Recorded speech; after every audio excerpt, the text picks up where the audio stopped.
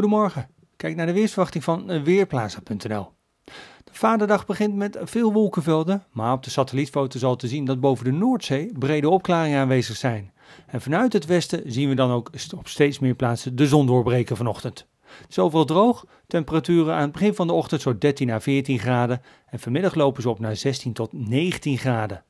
En we hebben vanmiddag dan een flinke periode met zon, vooral in de namiddag. Blijft overal droog, staat heel weinig wind, dus een uh, prima weertje vandaag. temperatuur had iets hoger gemogen.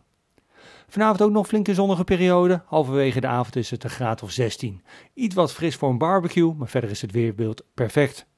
Kunnen we vanmorgen niet zeggen. Aan het einde van de nacht begint het te regenen. Dat regengebied breidt zich over het hele land uit. In het oosten in de ochtend nog heel even wat zon.